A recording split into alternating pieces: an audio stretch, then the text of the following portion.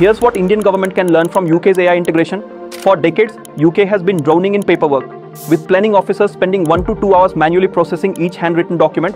But now, they are integrating Extract, an AI assistant that does the same work in just 3 minutes. This AI doesn't just scan documents, it actually understands them. It reads handwritten annotations from century-old maps and the accuracy is close to 100% which is purely insane. Think about this.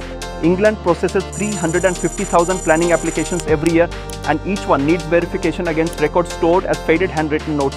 By spring 2026, every local authority in England will have access to extract and by implementing this, they'll not only cut short the time involved but also optimize costs of human labor.